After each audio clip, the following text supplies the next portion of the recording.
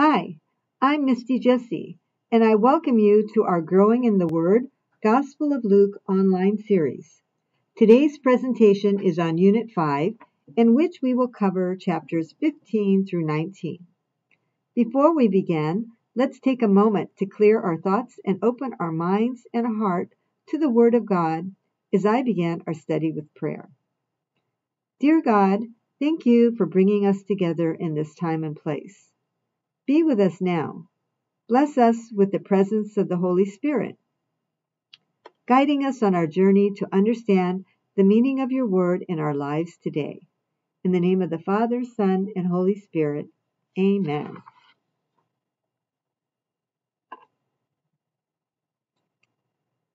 Chapter 15 consists of a series of parables and lessons dealing with the sinners and their cho- chance of salvation. We find three parables being grouped together, um, all of which focus on valuables lost and found. The central figure in the parables um, is Christ, and, and the person or the object that is lost is the sinner. The first parable, the parable of the sheep, the and, and this is taking a place around table fellowship. Um, the Pharisees and the scribes are complaining about tax collectors and sinners and the fact that Jesus is eating with them. And Jesus, um, to understand that concern, is that uh, in that particular society, um, what one eats and who one eats with are important in maintaining social boundaries. And we find Jesus crossing those boundaries repeatedly. So Jesus responds to their questions and their challenges with the parable of the lost sheep. Let's take a moment to read the parable of the lost sheep. So we're on chapter 15 and we're going to look at verses 1 through 7. Chapter 15, verses 1 through 7. The tax collectors and sinners were all drawing near to listen to him. But the Pharisees and scribes began to complain, saying, This man welcomes sinners and eats with them.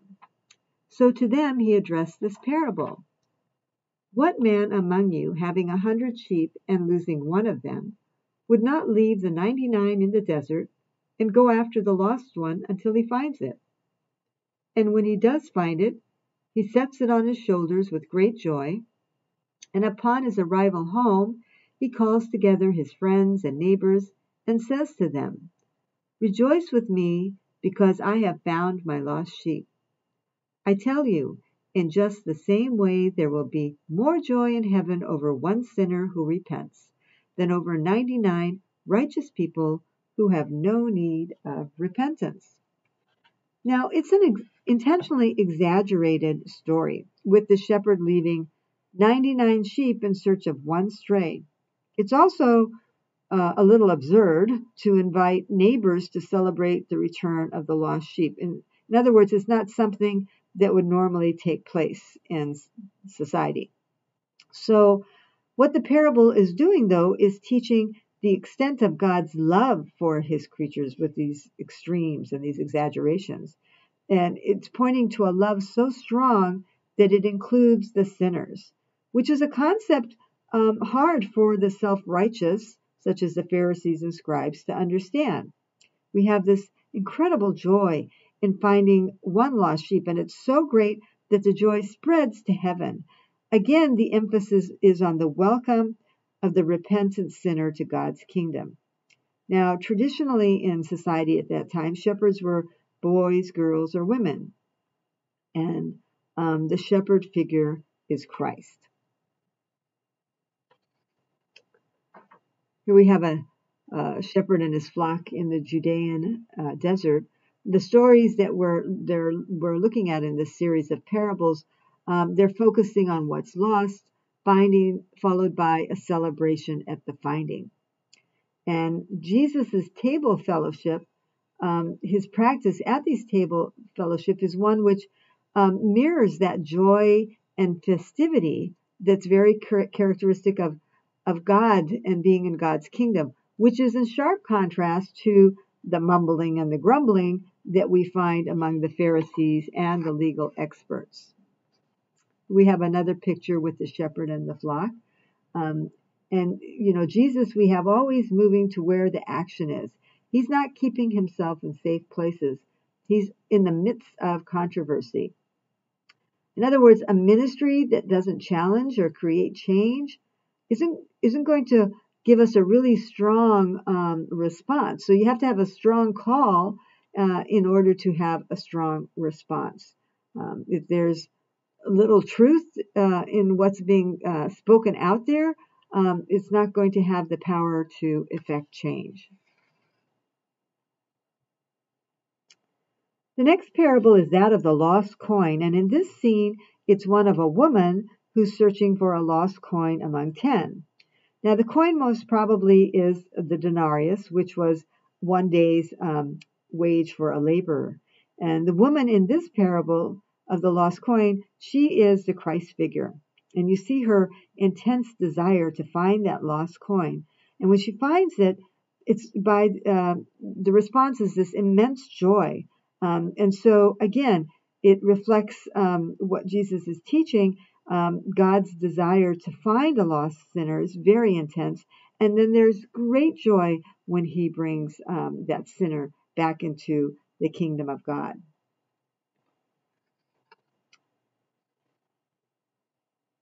Uh, in this picture of an ancient Syrian stone house, um, Syrian stone stone houses would have been made of very dense and heavy basalt type stone, it, which would be unlike what you find in a typical Galilean house. Um, they're made of lighter sandstone or dried bricks, um, and they're often um, much lighter and brighter. And so the details in the parable, such as that, you know, the building of the house, tell us um, and reflect again on Luke's unfamiliarity with the land of Israel itself. So here we have an example of an of an ancient Israelite house. Um, uh, normally, you have the dried bricks, and then um, they're plastered over, um, and you can see that there are plenty of windows in the house, um, providing you know ample light. The Roman um, denarius is pictured here. Um, numismatics is the study of coins, and it tells us a lot about the propaganda that's taking place in the era. Um, and it's also used for um, dating surrounding structures. Like in this coin, um, you can see the image of the ruler. Um, and on the back, you can see the power that's being exemplified. Most of the time during the Old Testament, uh, precious metals were measured by weight, um, and they weren't uh, made into coins yet. Um, the first uh, coinage actually came about, uh, they believe, in Western Anatolia, which would be modern day Turkey today, probably in the 7th century BCE. Um, and then the use of coinage actually expands during the Persian Empire, and it uh, and it became standardized.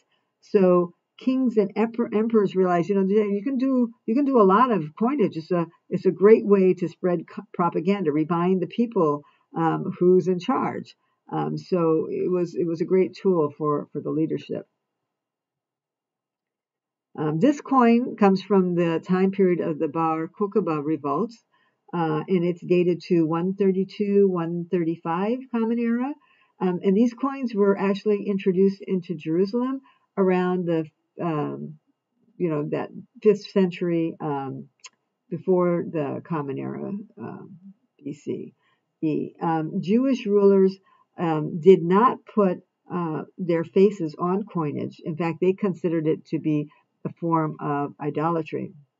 So you don't see any faces here. Instead, you see the images of the horn and a lyre. Um, there's a variety of co- coinage that's being uh, distributed during this era, and so there's a lot of inconsistency in their weights. Um, and so that made um, the necessity of a money changer um, to help value and determine, you know, exactly what that coinage was, because they also used different metals within the coin.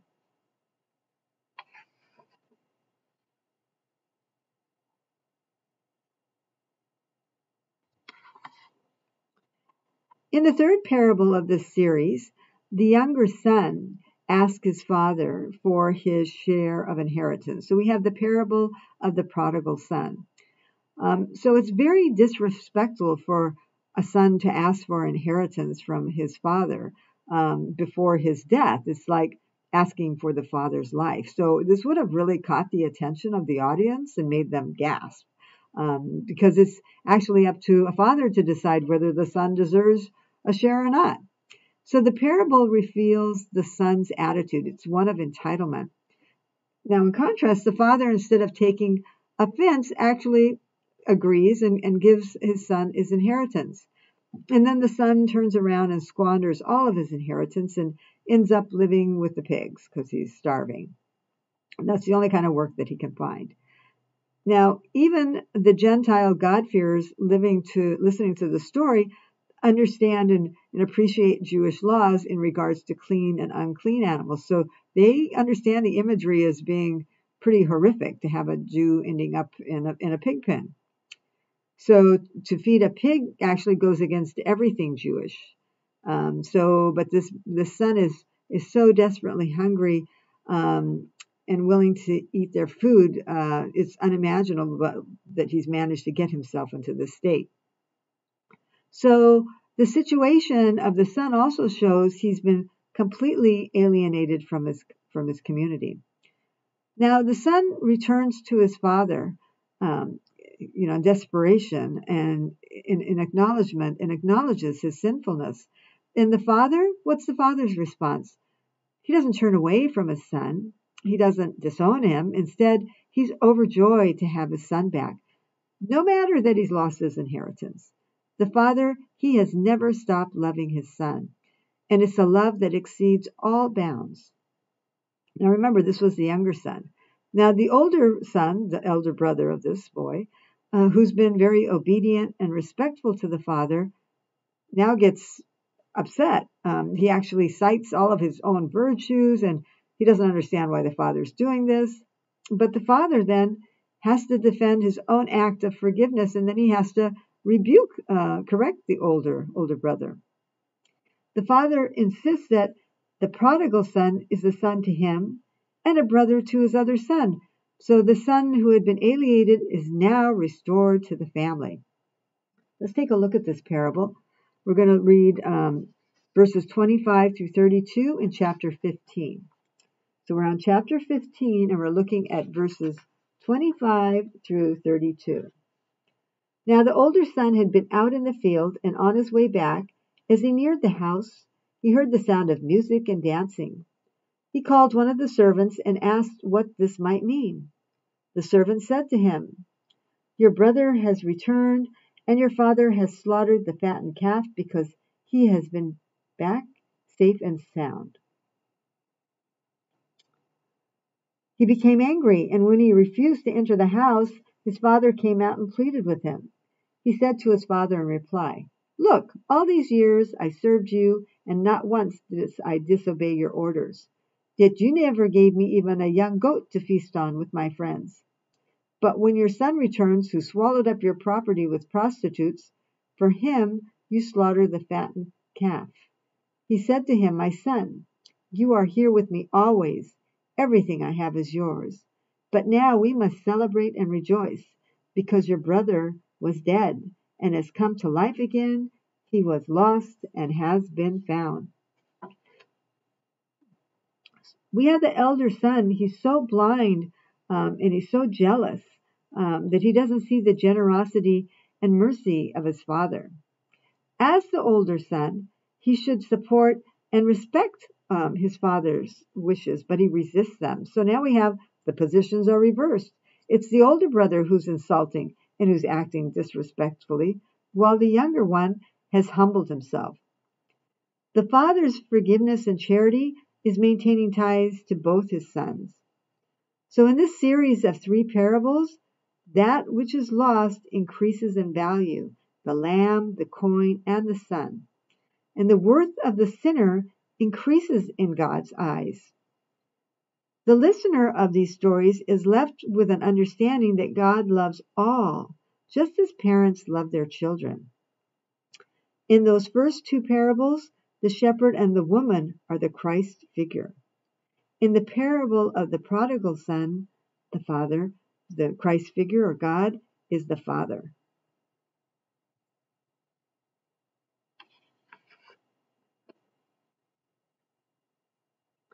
The items that the father had dressed the prodigal son with upon his return include a robe, um, sandals, and a signet ring. And these are signs of position and status in the ancient world the robe, sandals, and the signet ring. Um, a young goat is actually less expensive than a fattened calf. And meat is, in, in, at that time, especially upon the poor people, uh, is generally rarely eaten. It's, it's very expensive and is kept for special occasions. Slaves generally wandered around barefoot. Here's an example of an ancient sandal which the father provided for his returned prodigal son.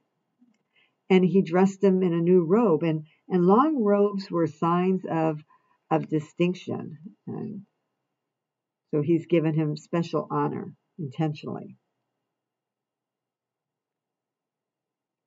In the parable of the dishonest steward, let's take a look at that word stewardship. Stewardship comes from steward, um, and a steward was the sty warden or the keeper of the pigs. So, in that pagan agrarian culture, a man's wealth um, consisted of his pigs. As a result, they needed watchmen over them all the time. And as time progressed, that term steward became associated with anyone with wealth or property that you would entrust them to. So, a person that would be entrusted with um, wealth or property. Stewards made their living then collecting rents and debts for their masters and also charging debtors interest on the amount they owed. They also, on the side, frequently lined their own pockets. In this story, the steward is dishonest, and the master knows this. And the steward realizes he's being dismissed, and he's quite clever. Uh, he hopes to win the favors of the debtor, so he makes these different exchanges. The master becomes impressed with the steward's cleverness. So we see the extremes to which the steward is willing to go to garner favor, and that's what Jesus is pointing to. So any one of us will go to extreme lengths to secure a place in the world. Some of us, hopefully most of us, honestly, some of us dishonestly. In which case, um, we're spending even more efforts, it's teaching us, to, to find a place in the world to come. Dishonest wealth points to the danger in um, being attached to worldly goods. And, and we've had Jesus' sayings and parables on this subject before. So Jesus warns against placing trust in wealth. He wants us only trusting in God. That's what's going to lead to the eternal dwelling place. A steward who can't manage small matters, then, would not be trusted with big issues. So trust is something you earn, it's not assumed. If you act unethically with others, don't expect honor or trust in, in return. The parable also teaches to be wise in using one's material goods, particularly in light of the coming judgment. Jesus is warning against the attraction of mammon in light of God. And mammon is a Greek word for an Aramaic term meaning more than just money or wealth. So it's not just monetary, but it's something even greater than that, but with material connotations. It refers to anything that takes our attention away from God, who is the true source of life.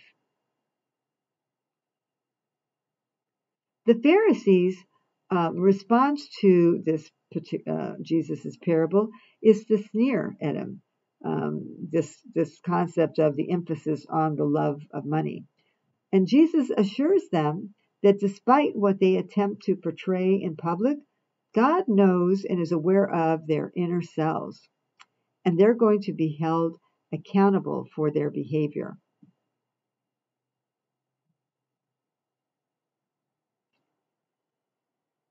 Jesus cites the Mosaic Law as we move quickly into the subject of law and divorce. He doesn't um, deny or replace the law, the commandments of Moses. If anything, he's even more stringent about its interpretation.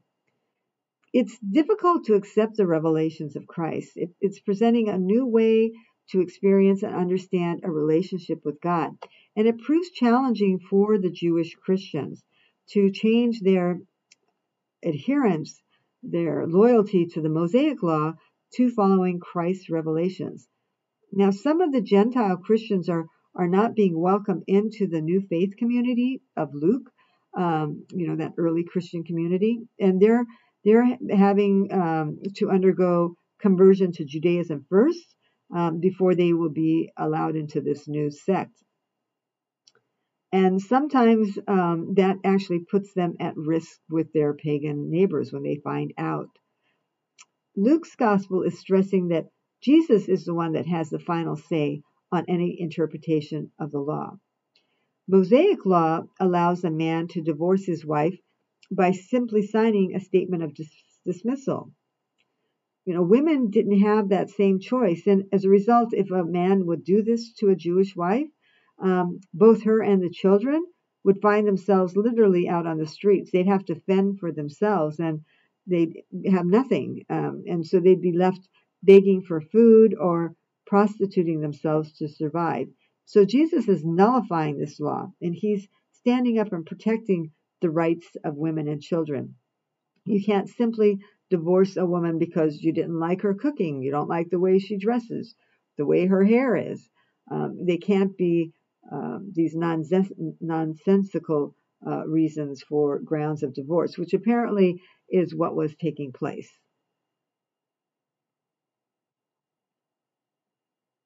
In the parable of the rich man and Lazarus, we have that theme of reversal and uh, a showcase of uh, implementing social justice.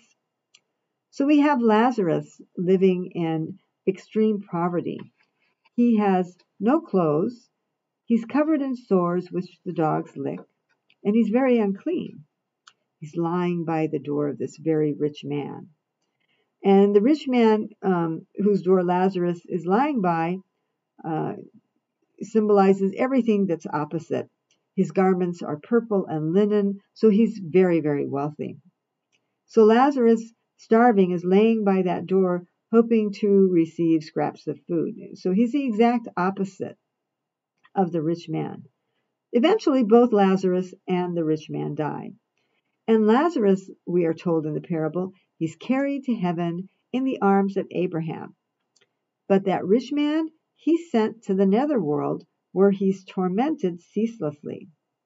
So we have him crying out to Abraham to also let him go to heaven, to come carry him to heaven, but he's refused. So we have this theme of a great reversal. I mean, it's a very contrast type of a reversal, one in which the hungry are being filled with good things and the rich are being sent away empty. Now, the rich man knows Lazarus. He uses his name. The rich man who's in a very bad condition still doesn't get it. Here he is burning away in the netherworld, and, and he has the audacity to command Abraham to send Lazarus down to refresh him. Now, Abraham's response makes it really clear to the rich man exactly why he is where he is and that he's going to stay there. The cause of the judgment is the rich man's lack of charity and responsibility. It's that sin of omission which has created the great divide. So Jesus is showing the role we each play in our own salvation. The rich man was blind to the needs of others around him while alive, and he's still blind even when he's dead. That the parable is highlighting for us the danger of wealth, and that's what Jesus has warned us about several times now. A reminder that power and wealth blind us to the kingdom of God in this life and also in the next. We're on chapter 16. We're going to look at verses 27 through 31 and how wealth and power blinds us to those in needs around us. Chapter 16, verses 27 through 31. He said, Then I beg you, Father, send them to my father's house, for I have five brothers, so that he may warn them lest they too come to this place of torment. But Abraham replied, They have Moses and the prophets. Let them listen to them. He said, Oh no, Father Abraham, but if someone from the dead goes to them, they will repent. Then Abraham said, If they will not listen to Moses and the prophets, neither will they be persuaded if someone should rise from the dead.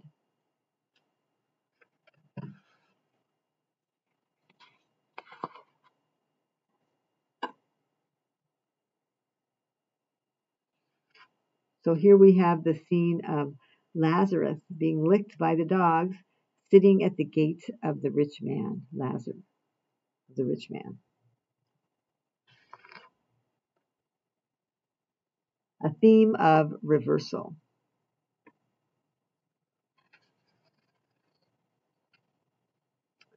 The temptation to sin.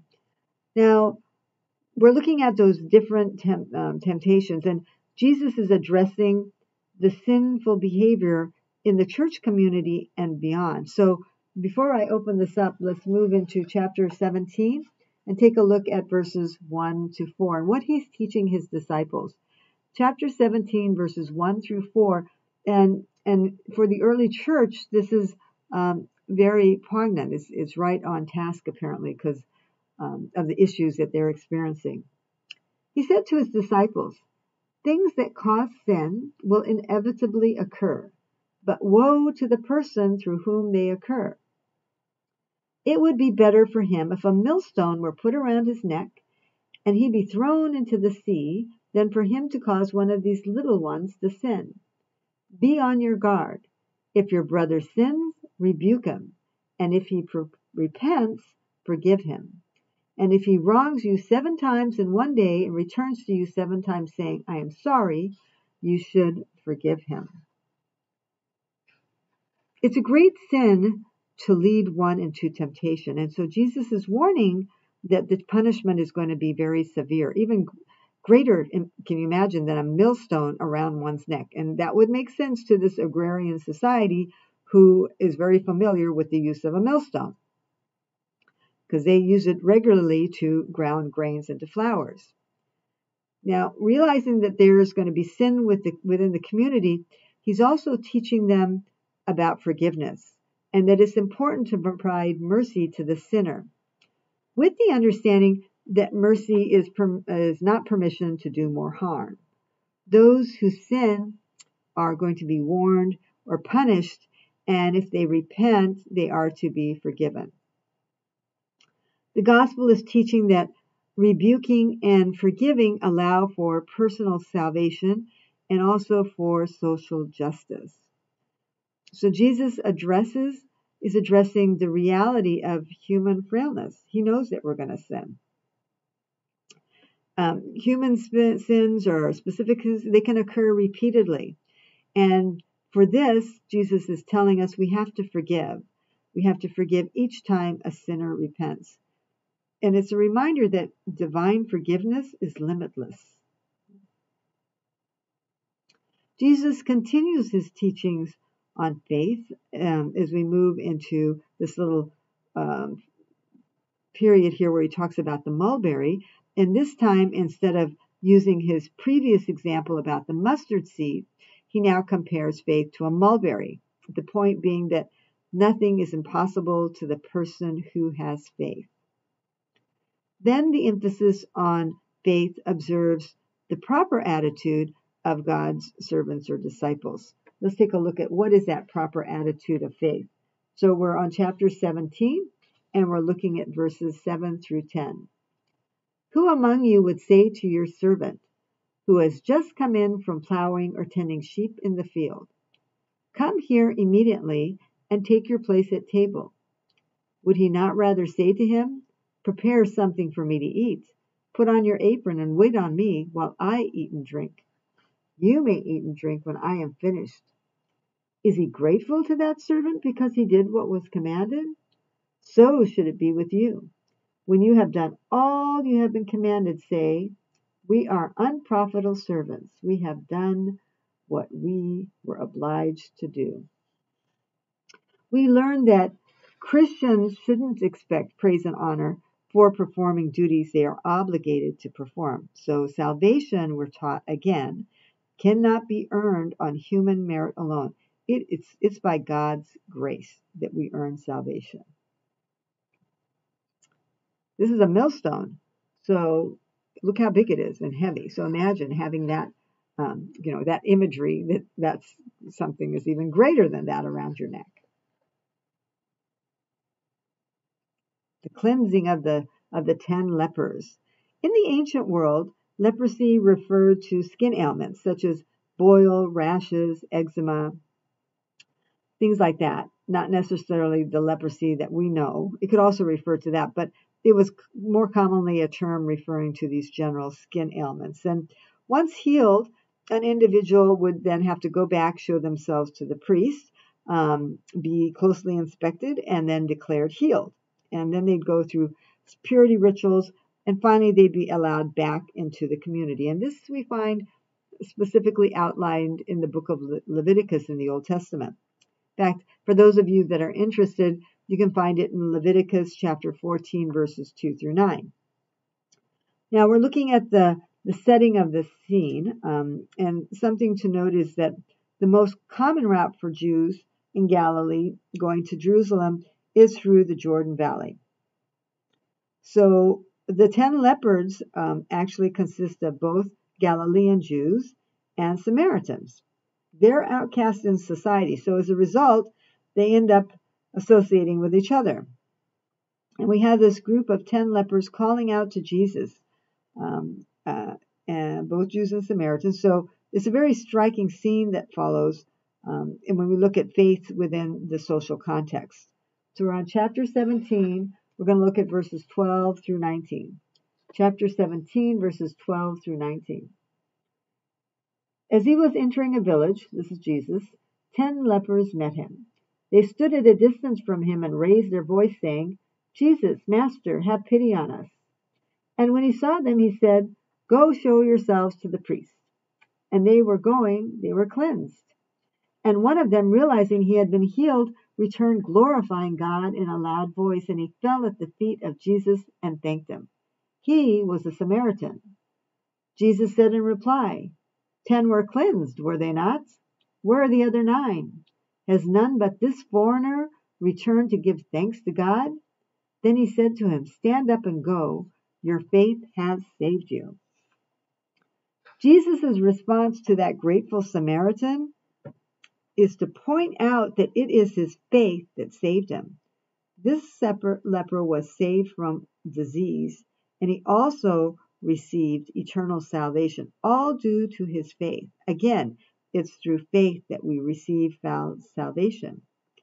Jesus is looking for a similar response from the disciples, but so far, the examples of faith that Jesus is looking for are like from the leper, the, the Good Samaritan, the foreigner, the widow, the tax collectors, and little children.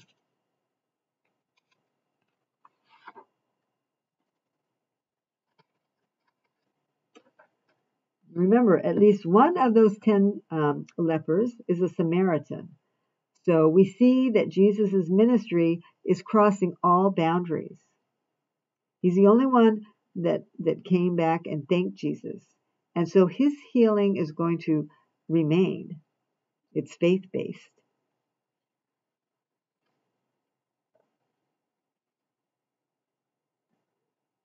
We now focus on the coming kingdom. So the language and the imagery that we see is um, very apocalyptic, end times language. Um, the message is one of being prepared, being ready. Who will be saved? Who will be damned? And the message is filled with a sense of urgency. It's a reminder that people should be vigilant. Any desire to hold on to the present is discouraged.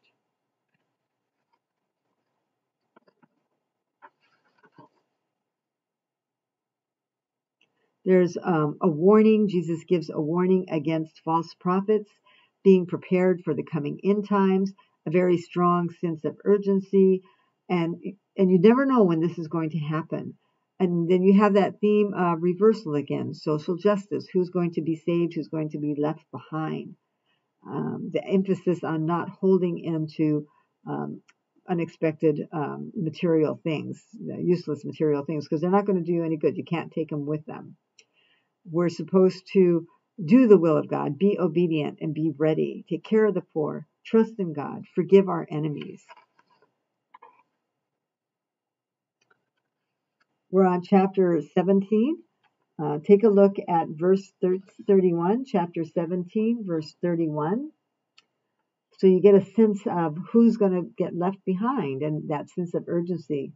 On that day, that coming um, coming of the kingdom and the Son of Man, a person who is on the housetop and whose belongings are in the house must not go down to get them. And likewise, a person in the field must not return to what was left behind.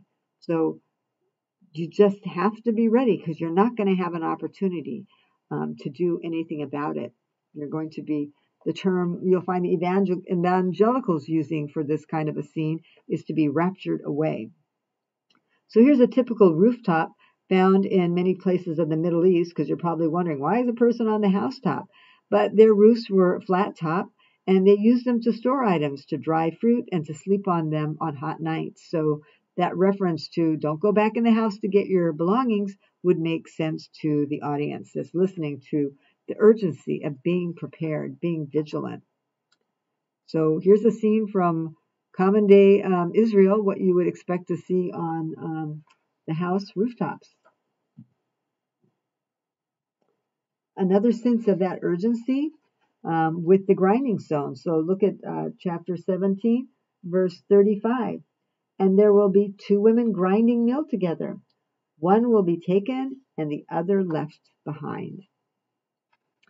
Again, um, as he uses language um, and images that would be familiar to his audience, the emphasis being on the urgency to be prepared. Don't wait for the last minute to repent. You don't know when I'm coming again.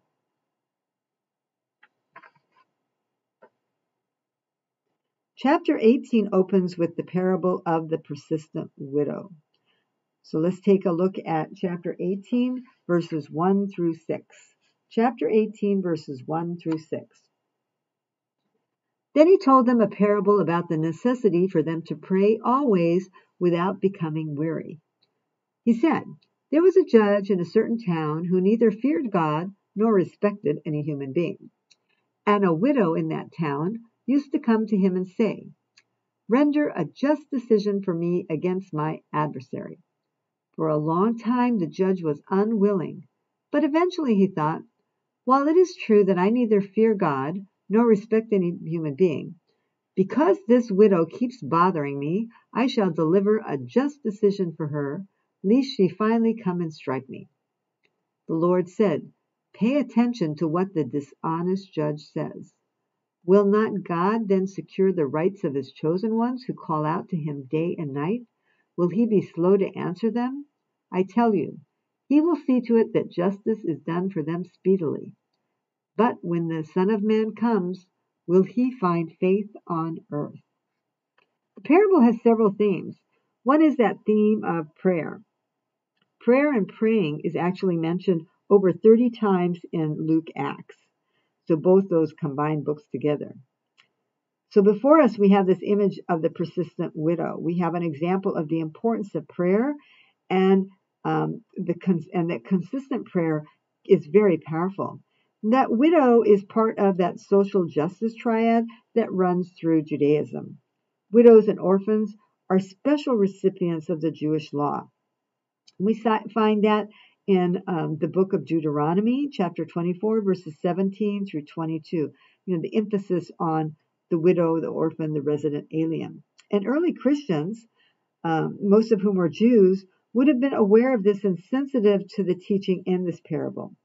So in ancient Jewish society, the widow would have accepted her faith, but this widow did not. She wasn't going to give up. She's acting out of character and she astonishes the dishonest judge. And with her persistence, she's forcing him to act justly. So the parable also gives us a, par- a comparison of the greater.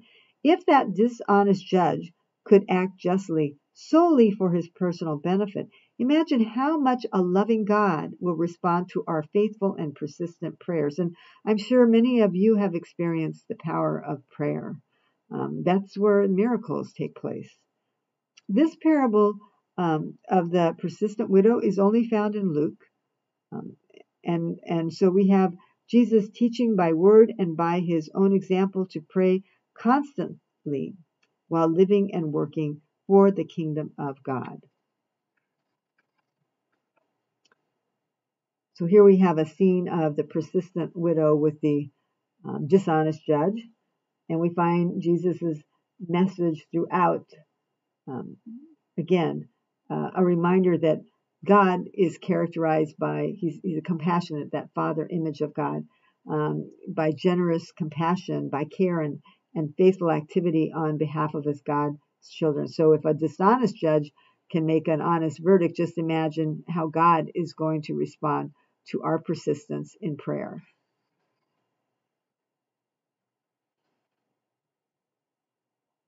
The theme of prayer continues in the parable of the Pharisee and the tax collector. The purpose of the parable is not to discourage religious and pious practice, but actually to question the reason why people take on devotional works.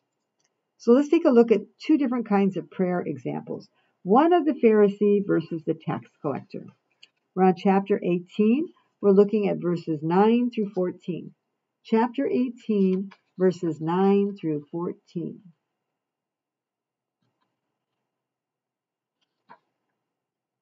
He then addressed this parable to those who were convinced of their own righteousness and despised everyone else. Two people went up to the temple area to pray. One was a Pharisee and the other was a tax collector. The Pharisee took up his position and spoke this prayer to himself. O God, I thank you that I am not like the rest of humanity, greedy, dishonest, adulterous, or even like this tax collector. I fast twice a week, and I pay tithes on my whole income. But the tax collector stood off at a distance and would not even raise his eyes to heaven, but he beat his breast and prayed, O God, be merciful to me, a sinner. I tell you, the latter went home justified, not the former. For everyone who exalts himself will be humbled, and the one who humbles himself will be exalted. The Pharisee is praying to justify himself in the world's eyes as well as the eyes of God. Versus the tax collector, he knows he's not pious. In fact, in the eyes of his fellow Jews, by working for the Roman Empire as a tax collector, he's considered a traitor. And tax collectors would never be considered pious, holy, or honest. So think of um, Jesus' audience full of Pharisees and scribes and, you know, tax collectors and sinners listening to this. Now, unlike the Pharisee, the tax collector knows his sinfulness. So he's pleading for mercy and he's demonstrating his need for God. In contrast, the Pharisee, he's just singing his own praises and um, making God his beneficiary. The end result, Jesus teaches, is that the tax collector is the one to leave justified by God. He's going to receive salvation. The parable is shocking to the audience of Jesus, and it continues to have the same effect on, on the audience today when we listen to this. Jesus is condemning the self righteous. He's teaching that the fundamental attitude of a disciple is the ability to recognize their sinful state and to turn to God for mercy and salvation. The true model of prayer is found in the tax collector and not in the Pharisee. So the, the parable is, is again one of reversal.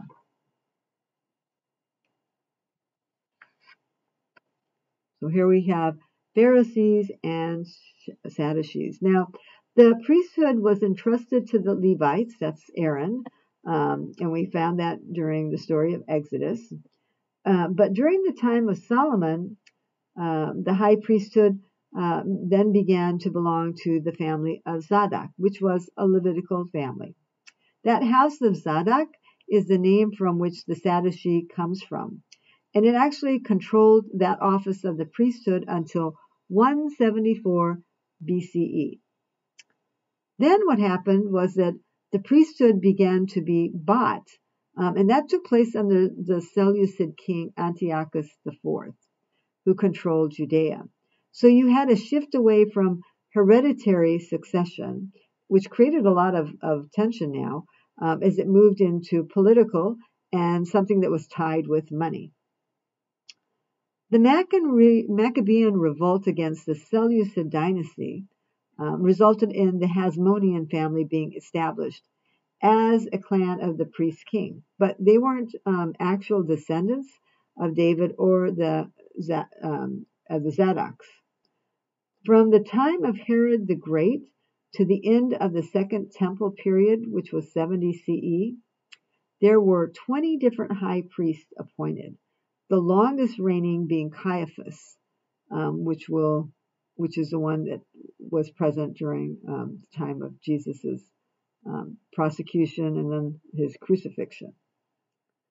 The high priest office has a lot of great prestige and influence. It also served as the president of the Supreme Judiciary Council, the Sanhedrin. So it was full of all these very high class aristocratic families. But as you can see, it's moved far away from the from Aaron, uh, who was the brother of Moses, and um, the tribe of Levi, who were set aside to be priests of God.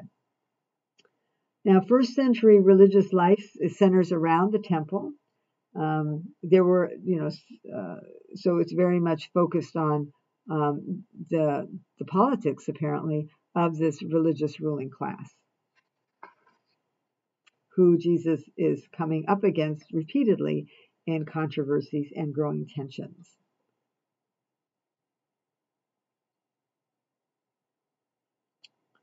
access to the kingdom. Luke's gospel tells us that people were bringing um, infants to Jesus. Now, in the sociological structure of the ancient world, conversions were not individualistic.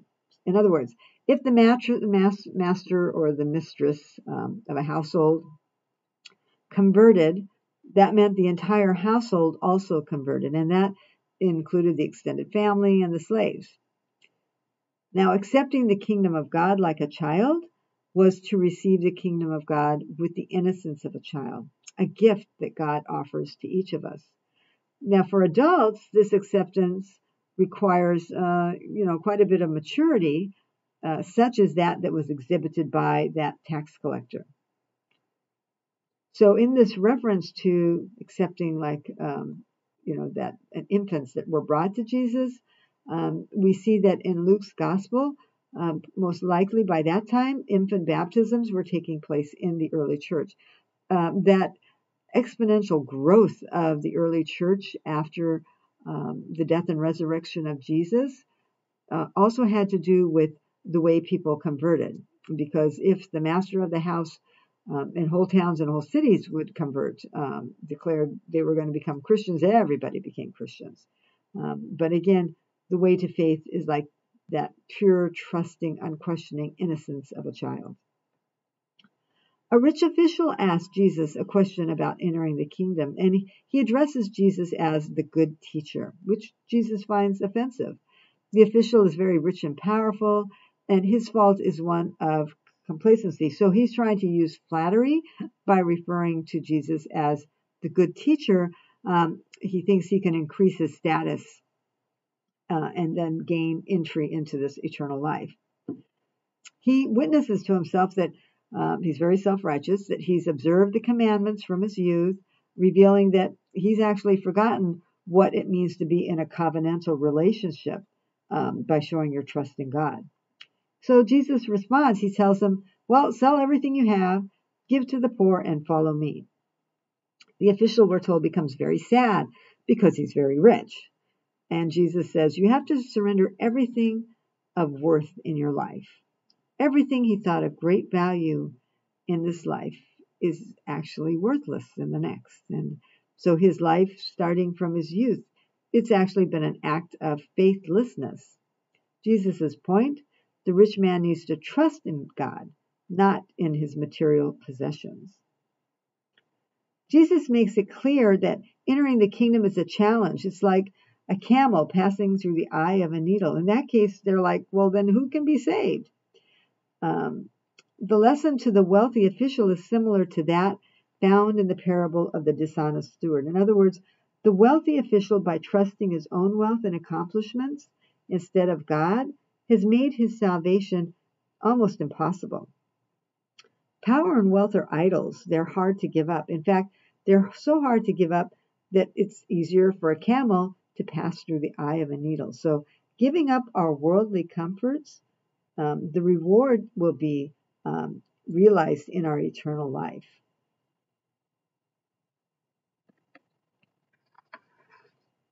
Jesus makes the third prediction of the, of the Passion. Um, and in this, he gives plenty of details.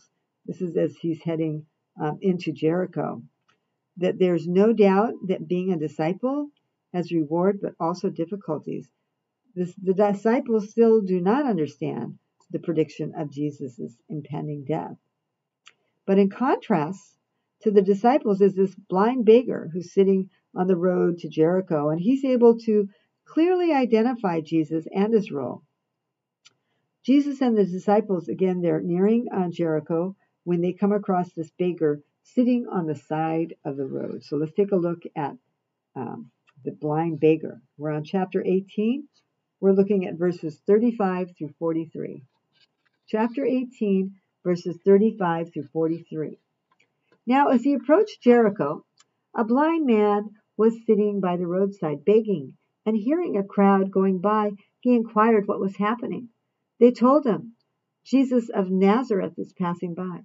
He shouted, Jesus, son of David, have pity on me. The people walking in front rebuked him, telling him to be silent, but he kept calling out all the more, Son of David, have pity on me. Then Jesus stopped and ordered that he be brought to him. And when he came near, Jesus asked him, what do you want me to do for you? He replied, Lord, please let me see. Jesus told him, Have sight, your faith has saved you. He immediately received his sight and followed him, giving glory to God. When they saw this, all the people gave praise to God. As a beggar sitting on the edge of the road, this sets the scene for us and tells us that this man has a very low social position. And yet, of all of those around Jesus, he's actually the only one who truly sees who Jesus is. So the story is one filled with comparisons. The blind man can see Jesus is the Messiah, but his 12 disciples can't understand what Jesus is saying. You know, he keeps giving them the prophecy. The blind man calls Jesus son of David. Clearly, um, that's a Christian title a very Christian title, and we a title that we find um, in the Gospel of Luke, uh, which which he will use repeatedly. But he knows and identifies him as the son of David. The blind the blind man persistently calls out for Jesus, no matter that the people try to quiet him. So you see that persistence. And so Jesus has the crowd bring the blind man to him. Now, in the ancient world, we've learned that sickness and disability is a sign of sinfulness. By having the crowd bringing the blind man to him, Jesus has made the crowd take responsibility for healing him. And so we have Jesus redefining suffering and sin. The beggar requests sight, and he knows Jesus can give him this, and it demonstrates his faith. In the end, everyone glorifies God both the beggar and the crowd. It's a beautiful story. So here we have, um, he's heading to Jericho. He's uh, come down through Samaria, heading to Jericho on his way to Jerusalem. So here we've got the city of Jericho. Now, Jericho is thought to be the oldest continuously inhabited city in the world dating back nearly 10,000 years. It's located beyond the northern portion of the Dead Sea, and it's one of the lowest places on earth, in fact, which, you know, the Dead Sea is. And Jericho is also about the lowest city on earth. It's nearly 800 feet below sea level. The mountains between Jericho and Jerusalem capture water far above Jericho, and then they carry the water through an underground spring called the Ain es Sultan or Elijah's fountain. The fresh water then falls out into the desert oasis and is used for irrigation. So, in the midst of this desert, you have this incredible oasis. Even though the surrounding plains are nearly waste and desolate, the abundance of fresh water from that spring in Jericho uh, makes the soil of Jericho one uh, very, very fertile. And the city is celebrated also because it's full of these beautiful palms and palm trees that decorate the landscape. So um, Jericho ends up being a very rich and flourishing town uh, with a lot of, of trade, and it was uh, on the caravan route. Here we have a, um, a tell, which um, is an archaeological name for a site, uh, an, an, archaeological excavation site, and this is a tell which covers um, Jericho. Uh, khirbet is another term that's used for archaeological sites, but in the case of a khirbet, the, roots, the ruins are actually visible above ground. You would think of Ephesus as an example of that. So Jericho was built atop uh, a great mound. It was uh, nearly 70 feet high, and that ancient tell is a testament to the site. Um, in, so in, in the ancient days, instead of tearing down an old city, people would just keep building a new one on top of it. And they just keep building new cities in this manner for many generations. So you get this artificial hill, which we refer to as a tell. And archaeologists have actually found a tower standing 25 uh, feet high at the tell in Jericho. The entire city seems to have been fortified by uh, numerous sets of walls, indicating from various uh, from the very early times that the city was walled in to protect itself from whatever was out there. And they would actually set the walls on top of each other. These are the ruins of Herod's winter palace, which is found at Jericho. Um, at the height of its existence, Jericho was known as the most important city in the Jordan Valley. And so it had the strongest uh, fortress in all that land. It was uh, on, on a route to an important east west road, making it a very strategic um, entrance point from the Transjordan into the highlands of Judah.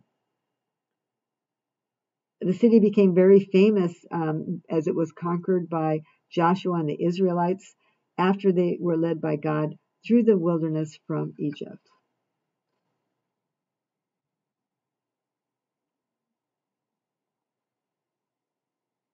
Now, the story of Zacchaeus appears only in the Gospel of Luke.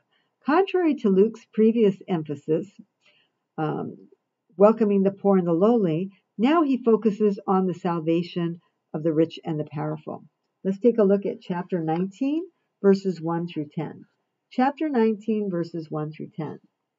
He came to Jericho and intended to pass through the town. Now, a man there named Zacchaeus, who was a chief tax collector and also a wealthy man, was seeking to see who Jesus was. But he could not see him because of the crowd, for he was short in stature. So he ran ahead and climbed a sycamore tree in order to see Jesus, who was about to pass that way. When he reached the place, Jesus looked up and said to him, Zacchaeus, come down quickly, for today I must stay at your house. And he came down quickly and received him with joy. When they all saw this, they began to grumble, saying, he is gone to stay at the house of a sinner. But Zacchaeus stood there and said to the Lord, Behold, half of my possessions, Lord, I shall give to the poor, and, I, and if I have extorted anything from anyone, I shall repay it four times over. And Jesus said to him, Today salvation has come to this house, because this man too is a descendant of Abraham. For the Son of Man is come to seek and to save what was lost. Unlike the rich official that we had in the earlier in an earlier story, Zacchaeus isn't looking to wealth and status to enter the kingdom, but he's looking to God's love and mercy um, to gain entry into the kingdom. He understands that wealth and power are not going to get him into the kingdom, but only God's loving mercy will do this. Now, tax collecting is a prosperous business, and a chief tax collector who's in charge of an entire district, and I've already told you Jericho would have been very wealthy at that time, is going to be really rich. So Zacchaeus is very, uh, very wealthy. In fact, that name Zacchaeus means wealthy. And he's, we're told he's determined to see Jesus. He's very persistent, like the persistent widow. And he's also aware of his wrongdoing. So the story is not about Zacchaeus, the tax collector, but it's all about Zacchaeus, the son of Abraham. Zacchaeus is willing to live a life of repentance. He's determined to see Jesus. And Jesus does what? He restores Zacchaeus to his community, which had excluded him because of his vocation as a tax collector. Remember, I said tax collectors were considered traitors among the Jews. And Jesus points out he came to seek and save the lost. So salvation has come to Zacchaeus. This is followed by the parable of the ten coins, the ten coin, gold coins. So a mina is worth about a hundred days' wages, and a talent on a talent is 60 times as much. Now, in terms of, of the parable, there's also like a historical subtext in that both Herod and his son Archelaus um, were known to have gone, gone to Rome uh, to receive um, ruling, uh, uh, the ability to rule and have the authority over the Holy Land. And so they went to Rome seeking this authority from the Roman emperor. Now, Archelaus is the son of Herod the Great, and he's very cruel. In fact, there were so many complaints in regard to his authority and rule that it actually um, gets removed. Him, he gets removed from that. He's given an area of, of lesser territory to control. So the nobleman in the parable may actually be a reference to Archelaus. So in the parable, three servants are given 10 coins each, and they're commanded to use the money in a way that's going to earn more. The first do, two do as they're told, but the third servant is foolish and disobedient, and he does nothing. And so the parable provides an example of how to properly use the riches, the gifts God gives us. The gifts given by God are, are supposed to be used to lift up the kingdom, to grow the kingdom. And when well used, they're going to grow the kingdom message, as exampled by those first two servants and how their coins multiplied and grew. Goods not used in a positive way, as such as wrapping them up in a, in a kerchief, um, they're going to be taken away. So that subtext continues in regards to the king and nobleman, because similar to Archelaus when he was given the authority, um, those that complained about him to Rome, um, they were killed. And in the parable, we were told that the king also slays those that complained about him.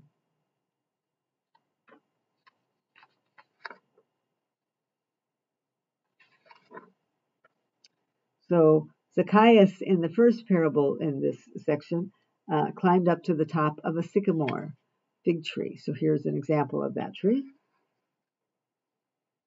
And that reference to ancient gold coins, here are some examples of these ancient gold coins, um, and they were referred to as minas.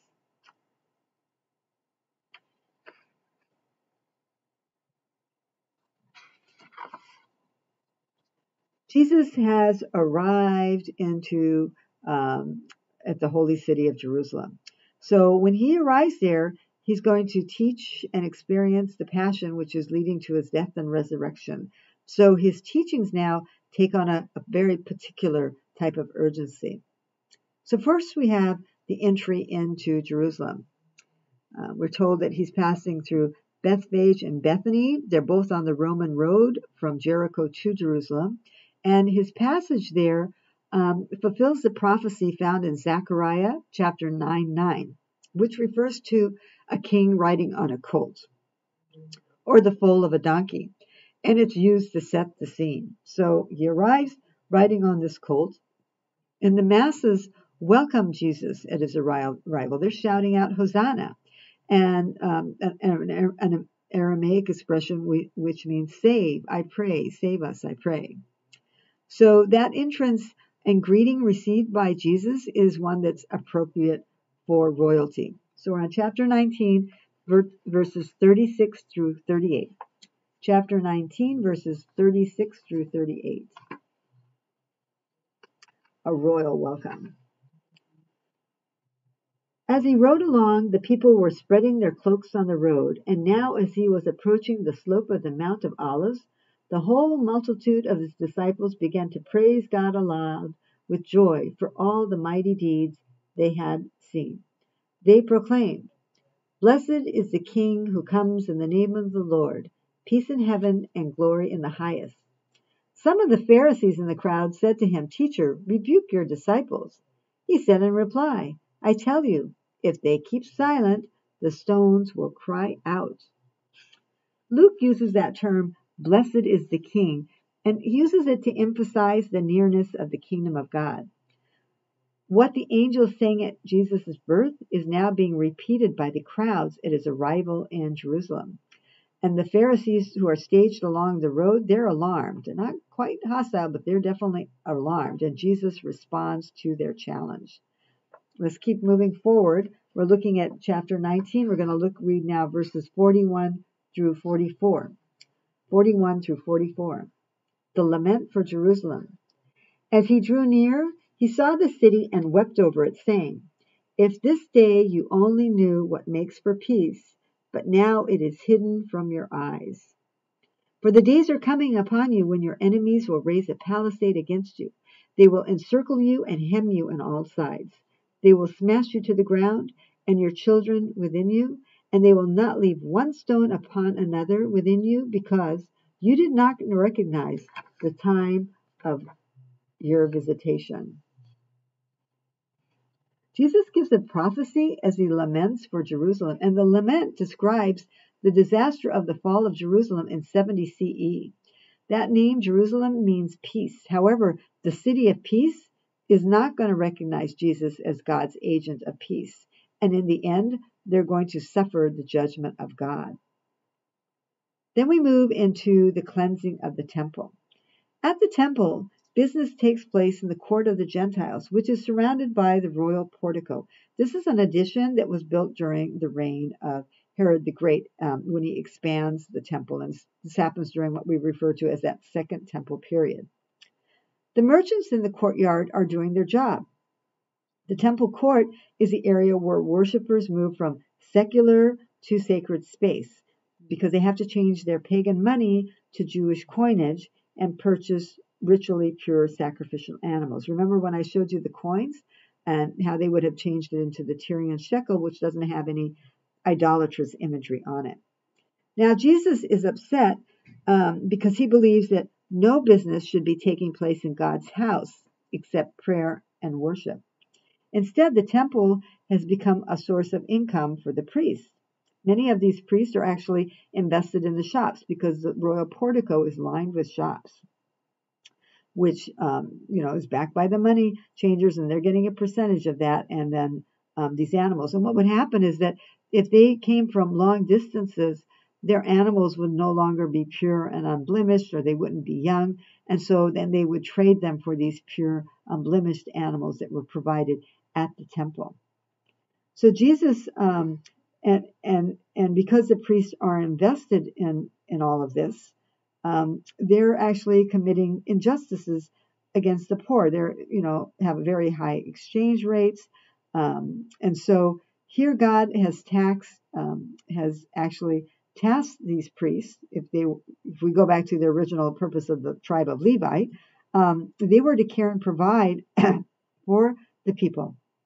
But instead, what are they doing?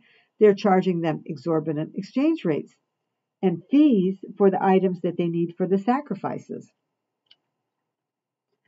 um, which is animals, oils, incense, and grains. Jesus displays his authority when he cleanses the temple. And now that he's cleansed it, you know, by overturning the tables and, and saying and seeing what he does, it's now become a proper place for his teaching and ministry in, G- in Jerusalem, which is going to bring God's message um, to the poor. The, the joyous entry then of that previous day when they were cheering him on as he entered into Jerusalem begins to close on a dark tone, an ominous tone, with the reference of the temple being a den of thieves, which also echoes the words of the prophets Isaiah and Jeremiah. So tensions mounts now because the chief priests, scribes, and the leaders, we're told, began to plot the death of Jesus. And note, Luke doesn't list the Pharisees, Pharisees as the ones in the plot to kill Jesus. So he's very specific. The chief priests, the scribes, and the leaders were told. So here we have Jerusalem.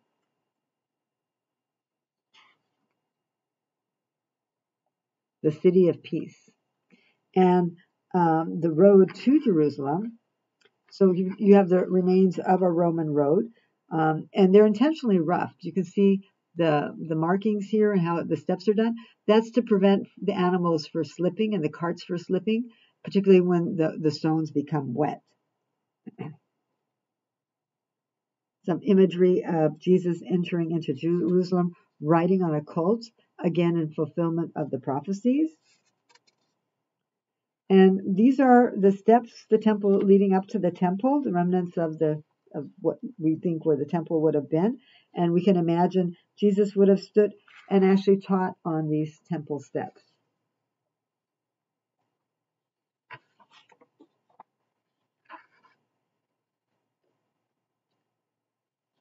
Now, the temple layout um, includes the court of the Gentiles and the royal portico. So here's the court of the Gentiles, okay, and here we've got the royal portico. So imagine the place is full of shops and shopkeepers and all this milling around, and there's noise and commotion and smells. Um, the bleeding of the animals and the money changers and the exchanges is going on. So this is what Jesus is seeing as he enters, and he's horrified. It's, you know, it's, it goes against everything, especially when you consider, you know, how far some of these pilgrims have traveled to come here and what they're experiencing. Meanwhile, watch now. We have, if you see where I'm pointing my arrow, we have the Antonia fortress. So um, the Roman authorities uh, are are are in the area. They're residing here, keeping an eye on what's taking place in the temple grounds. Why? Um, they're looking for any signs of unrest or rebellion because the income from the temple of Jerusalem, a significant part of it, goes to Rome. And so they want to make sure that everything is running smoothly and they get their monies from here. So they the guards would be walking along the walls watching what's taking place. So when the disturbance occurs with Jesus overturning the, the, the merchant tables and the money changers tables, um, the chief leaders and the scribes and the Sadducees would be um, would be concerned and upset because they don't want to do anything that's going to ruin their their relationship with the Roman authorities. You know, they're allowed to practice and run the temple. They don't want to do anything to upset it. So, yes, Jesus is now becoming a problem for them and a concern. So, here we have the temple wall, a reminder of the fall of Jerusalem, which was prophesied by Jesus. And it took place in 70 CE. Nothing is left except some stone walls as a reminder of it. And here we have that um, example of the shekels.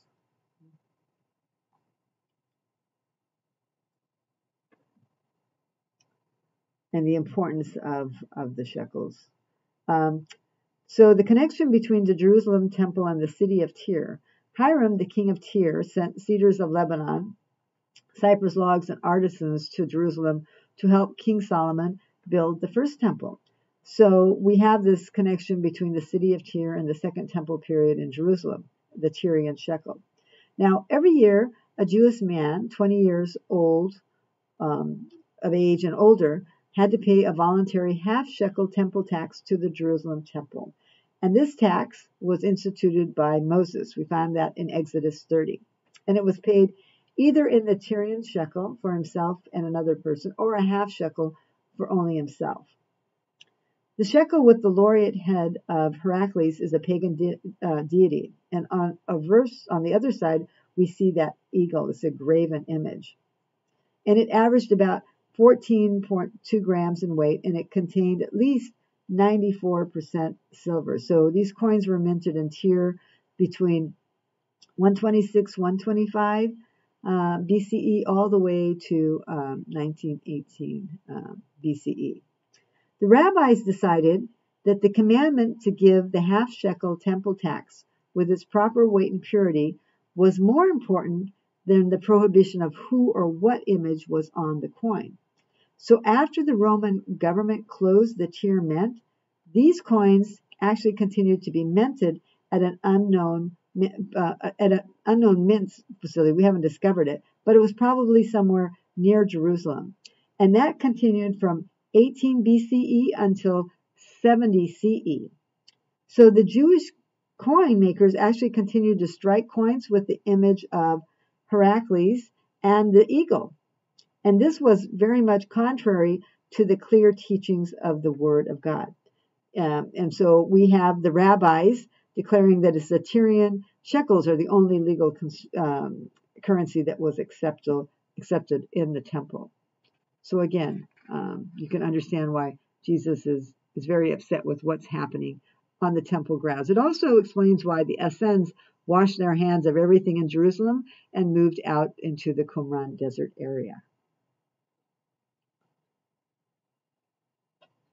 Okay, let's take a look at our reflection questions. The first one What rewards do you expect from God and why? Two, In what ways has God shown mercy to you and your family? Three, In what ways do you exercise faith in Jesus each day? And four, How do you define the kingdom of God? I look forward to you joining us for our final unit in this series, Unit 6. We'll be covering chapters 20 through 24. I want to wish each of you a blessed day. Please join me as we close in the prayer our Father taught us.